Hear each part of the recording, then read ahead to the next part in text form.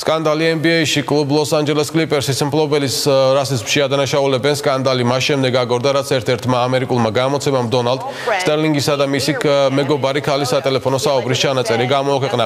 ბიზნესმენმა უკმაყოფილება გამოხატა აფრო-ამერიკელ კალათბურთელ მეჯიკ ჯონსონთან ერთად გადაღებული ფოტოს გამო და მეგობარ ქალს უთხრა რომ თამაშებზე შავკანიანებთან ერთად აღარ იაროს. ჩანაწერების გამოქვეყნების შემდეგ კლუბის მფლობელი კრიტიკის კასაცში გაეხვა.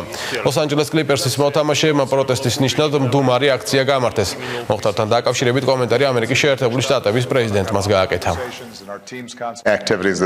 როდესაც უმეცარ ადამიანებს საკუთარი უვიცობის დემონსტრირება სურთ, არ ღირს ამაზე რეაგირება. რაც საუბრის უფლება უნდა მისცეთ და მას შეხვდება ის, რაც ვიხილეთ.